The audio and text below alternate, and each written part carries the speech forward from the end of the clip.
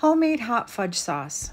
Ingredients you'll need half a cup of semi sweet chocolate chips, 6 tablespoons of granulated sugar, half a cup of heavy whipping cream, a quarter cup of light corn syrup, 3 tablespoons of Dutch processed cocoa powder, a pinch of salt, 2 tablespoons of butter, and 1 teaspoon of vanilla extract.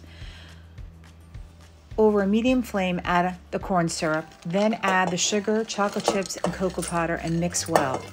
Then you're going to add the pinch of salt, and then you're going to put in the half a cup of heavy whipping cream and stir well. Mix sure everything is mixed well.